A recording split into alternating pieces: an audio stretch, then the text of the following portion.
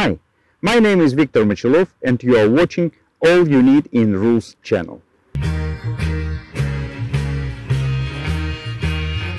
All you need is rules. All you need is rules. We will speak about the situation that happens rather often on a golf course. Unfortunately, I was shot to the green with my approach, and the best shot I can do in this situation is the putt. But unfortunately, there is the sprinkler heads between green and my ball. What can I do in this situation? First of all, I need to read local rules. Let us read carefully our local rules.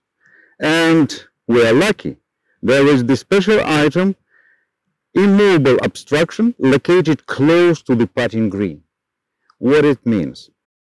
If immobile obstructions located within two club lengths from the putting green and your ball lying within two club lengths from the immobile obstruction, you can get a free relief for your line of play.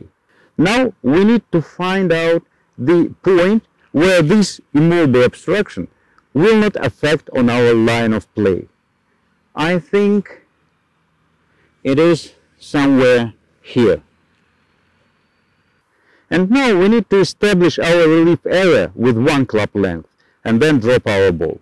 Let's do this.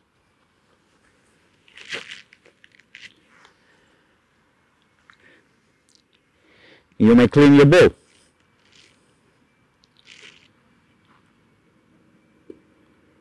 So ball and play and I can do my part.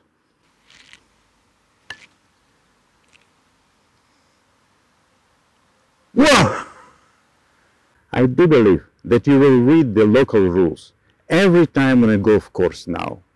And please pay attention that if it's not a local rule about the immovable obstructions close to the putting green, you are not entitled to do all the things we showed you today.